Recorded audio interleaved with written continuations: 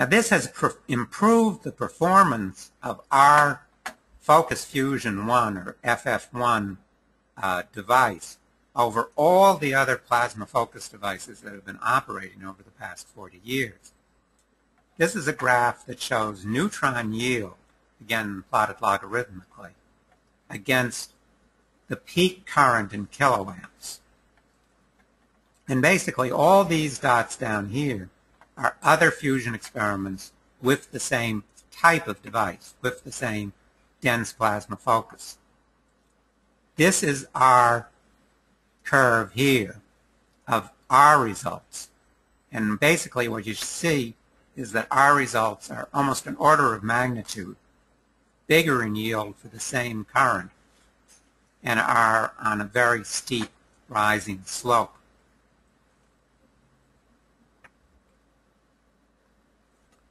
Now this is the device that we've built over the past year. Uh, actually, it started functioning almost exactly a year ago, October 15th. We started building it um, in uh, basically in March of last year, March of 2009, completed in October 15th. Now what you see here is the capacitors that store the energy that when the device is fired, in a few millionths of a second, feed the energy into the central electrodes. And these electrodes are shown here without the vacuum chamber that surrounds them. When, when it's operating, it's operating within a vacuum chamber. And this is a close-up of the core of the device, which are two copper electrodes that the current flows between to form the plasma focus. So this is the, the inner electrode or the anode, and these are the outer electrodes called the cathode. And this whole thing, this inner uh, electrode is only a couple of inches wide. And this is another view of the 14 centimeter long electrodes, which are the ones we're currently using. Now, in this first year, we've had a number of achievements. One is that we've had clear and repeatable confirmation that we can achieve high ion and electron energies, more than 60 keV. That's over half the ion energy needed to ignite pB-11. Nine years ago, at other experiments in Texas A&M University, we first achieved these very high temperatures. But it was only in a small number of shots, and we needed to confirm this. Now, repeatedly, in a large number of shots, we've been able to confirm that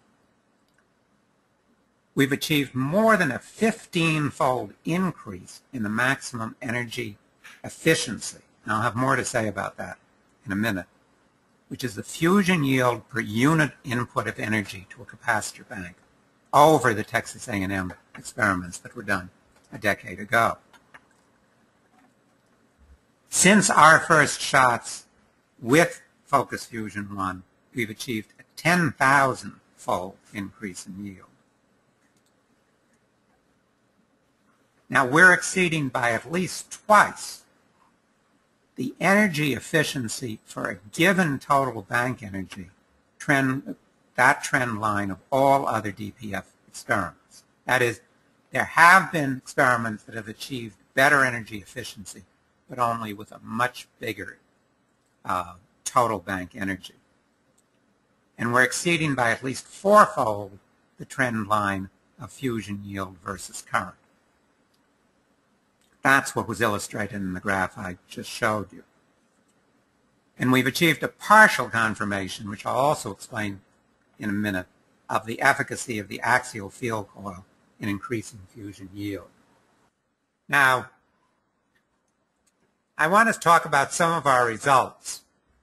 One of our results is we have gotten uh, excellent photographs, thanks especially to Fred's help, with the ICCD camera. And the ICCD camera is a electronic camera like those that we use every day, except for ex exposure time. Its exposure time is as low as one five billionth of a second. That makes it a lot faster than our everyday cameras and a lot more expensive. Now, this is a picture showing in our own device one of the stages that you just saw in the animation, which is the stage where all of the filaments are fountaining together in the center of the anode. This glowing disk here is the plasma glowing inside the hole in the anode. And this is at a point where the filaments have reduced themselves only to about four or six filaments. You can see the filaments, whoops, sorry, coming in from the sides and going into this focus region. And then uh, we were fortunate enough that the plasmoid itself only exists for about 10 nanoseconds, so it's hard to catch it timing exactly. But we were uh, fortunate to catch it. And this is an enlargement of uh, an actual plasmoid. And you can sort of faintly see the, um, the twisted filament that surrounds the plasmoid. This bright area is the plasmoid. These little spots, those are not real. Those are individual pixels of the uh, camera. So it's not that you have to imagine that this is all smoothed out. Um, the resolution of the camera is about 60 microns. So we can just barely resolve the 150 micron wide plasmoid. Now it's very important to get these images basically to see what size the plasmoid is, which also gives us a cross-check on the density of the plasmoid. So where are we? Well, again, I'll go into this a little greater depth, but we're a bit less than halfway there. We've been slowed down by problems with the switches. We've been working for about six months to get the switches to all fire together. We managed to move up from 25 kilovolts to firing at 35 kilovolts on our way to 45 kilovolts. We also have to test other electrodes and move on to pB11. Right now we're operating with deuterium. Let me uh, stop here. We'll go back to some of the data and I want to show you how the machine actually works in practice. And this will be our first surprise. This is a video of a shot that was taken just yesterday. And this will show the machine in action. 25,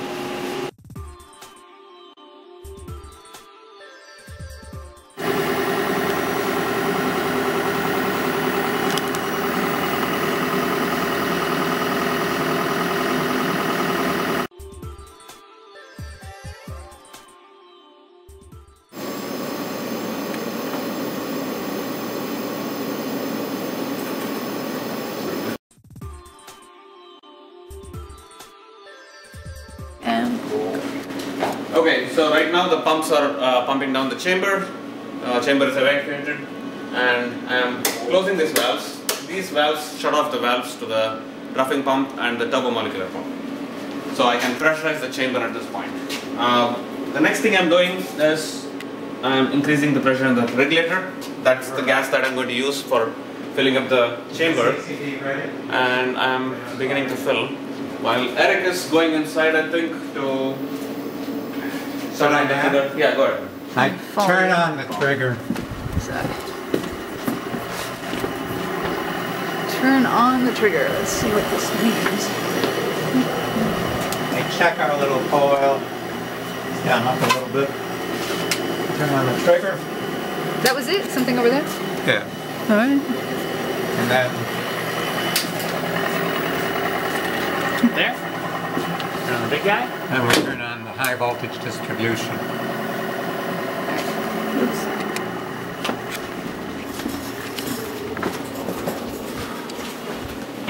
Get the heck out. Uh, as I'm filling the switch with a particular pressure. Right now for this experiment it's 13.5 psi. The trigger is at 9 psi, the pressure inside the trigger generator. Okay, that should do it. A little bit, okay, a little bit. That will still work. And then the next thing is I'm filling the chamber. That's usually the last thing I do to prevent the impurities from filling in. Alright. Just wondering why the fan. always overshoots a little. But I think there. That's 30 torr. Okay. Think ready. Okay, this is 12.5, uh, 13.5, 9.1 and 30 torr. Are you on Derek? Yeah. Okay, everything's on, everything's ready to go. So then I dump, uh, remove the dump so that the capacitors can now get charged. Then the power supply is turned on and I begin charging now. Charging to 33, 5, 10, 15, 20, 25, 30, fire. 33.6, fire. One, two, Another picture of the little extra. three, So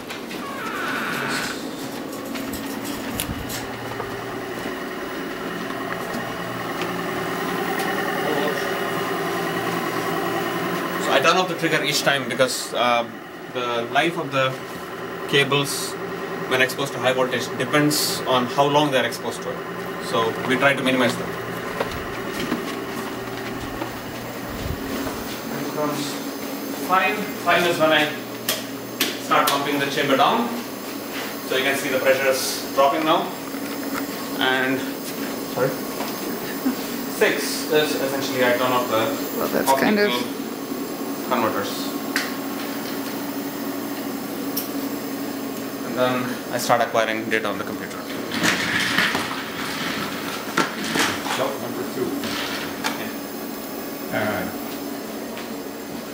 Uh, first, let's see how many fired. All right. Here's the suspense. One fire. Two fire. We got some neutrons all right. Okay. All right. Four fires. So all those bubbles were a nucleation site Five fires. uh, caused by a neutron. You're gonna have to hold that against the Seven fired. dark background. Nine fired. Ten fired. Twelve fired. All All eight fired. They fired. fired! Way to go, Yay! team. High five. High five, high five, high five. Finally, All right. after so much struggle. So now we have to do it. We have to. Yeah, we have to repeat it. We have to repeat it. Yeah, we have to repeat it. Repeatability.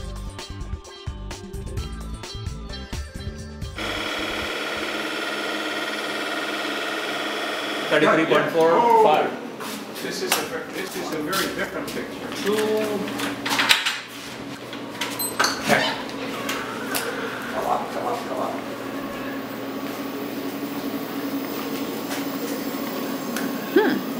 Is This picture has a very bright, bright spot in it. Right.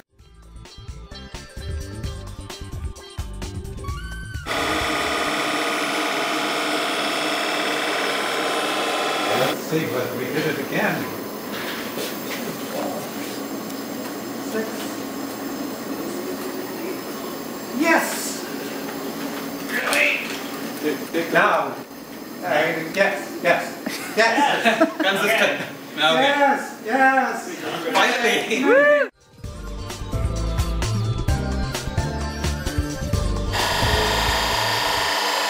We'll get what Rezwan calls hours of fun out of analyzing this shot, I'm sure.